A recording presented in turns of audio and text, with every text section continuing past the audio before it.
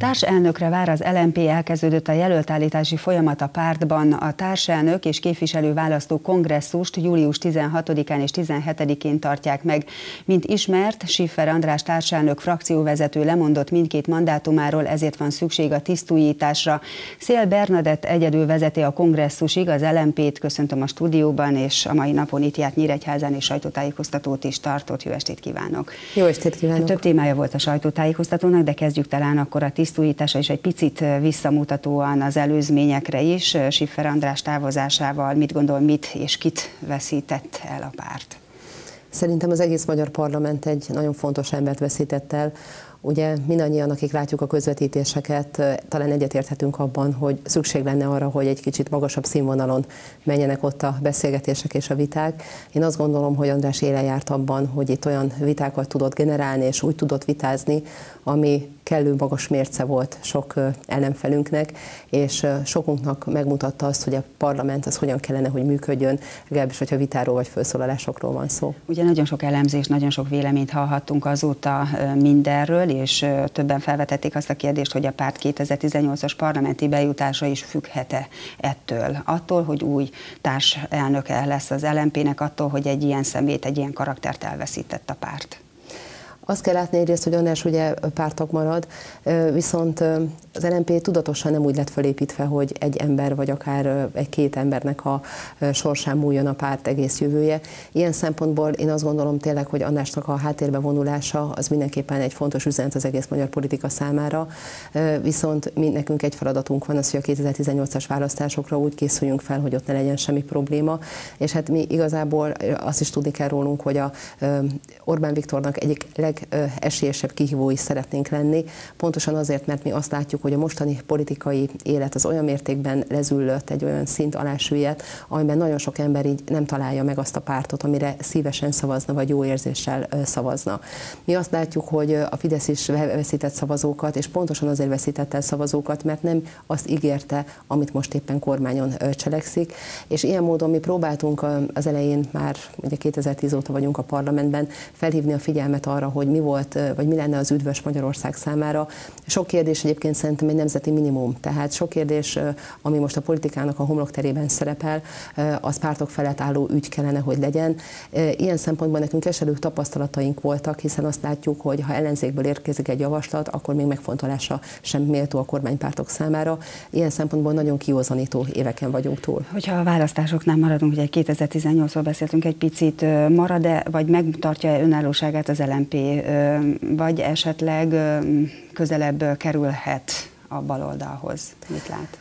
Nekünk van egy kongresszusi döntésünk erről, és a mostani kongresszusunkon ezt megerősítjük, tehát újra kiállunk azon szövetségi politikánk mellett, ami arról szól, hogy a mostani parlamentben nincsenek olyan parlamenti erők, akikkel mi politikai szövetséget tudnánk vállalni. Viszont azt is látni kell, hogy szerintem a mostani politikának az is egyik legnagyobb problémája, hogy nagyon sokat beszélünk arról, hogy ki kivel szeretne különböző dolgokat csinálni, viszont a választópolgárok számára egyáltalán nem világos, hogy mit szeretnének. A nyári országjárásom az pontosan arról szól, hogy az LNP-nek a programját, a mi javaslatainkat elvigyem az emberekhez, azokról az emberekről beszélek, akiknek mi szeretnénk szövetséget ajánlani.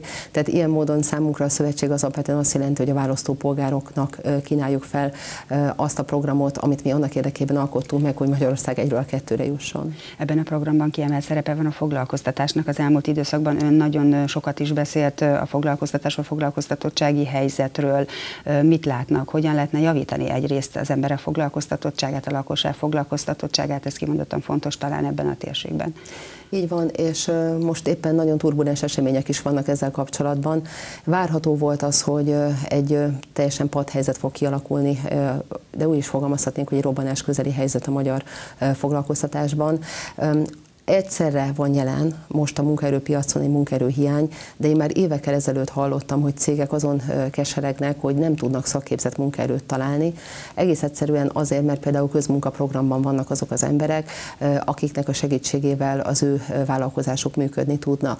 De azóta most már látjuk, hogy több százezer magyar ember külföldre távozott, és ők azok az emberek, akik nem tudtak megélni azokból a bérekből, vagy nem kínáltak számukra lehetőséget azok a bérek, amik ma Magyarországon Magyarországon elérhetőek. Jó, de azért tisztázzuk azt, hogy a közmunkások nagy része a szakképzetlen munkaerő a munkaerőpiacon, tehát ezt itt szabolcs bereg megyében látjuk is, az adatok is mutatják, tehát ahhoz, hogy a közmunkából a versenyszférába tudjanak lépni, nagyon jó képzési programokra lenne szükség és hajlandóságra is elfelé.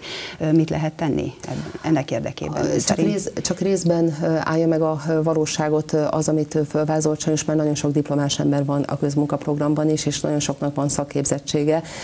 Ilyen módon azt tudom, úgy tudom ezt megfogalmazni, hogy, az, hogy ez a közmunkaprogram, ez túllépte az észszerűség kereteit.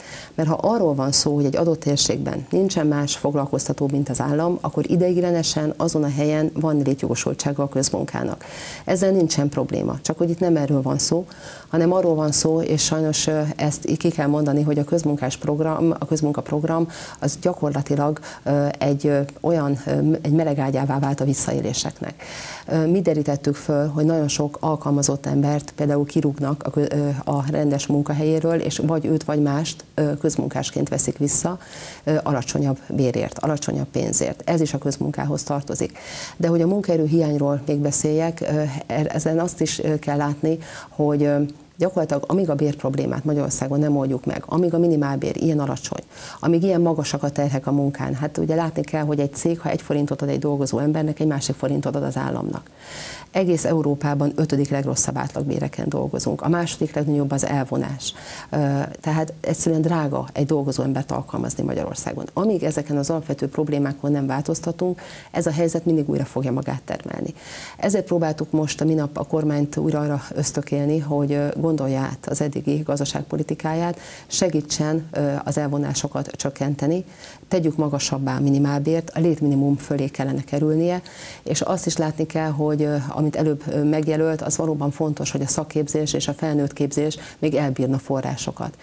Mi a költségvetési módosítóink között előkelő helyen szerepeltettük a felnőttképzési szakképzési forrásoknak a növelését, és ez megint egy kormánykritika kell, hogy legyen, hogy 2010 óta egy harmadára csökkentették azokat a pénzeket, amelyeken lehet képezni felnőtt embereket, és átképezni őket egy olyan munkára, amelyre úgymond nagyobb igény van az adott régióban.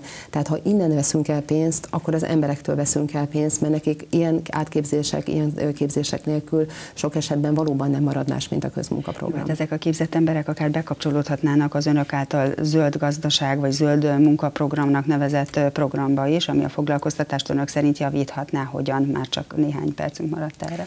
Azt kell látni, hogy Magyarországon kb. 450 ezer munkahelyet tudnánk teremteni, és ez itt Szabolcs-Szatmár-Bereg megyében is komoly változásokat hozna, mert helyben tudnánk is válságálló munkahelyeket teremteni.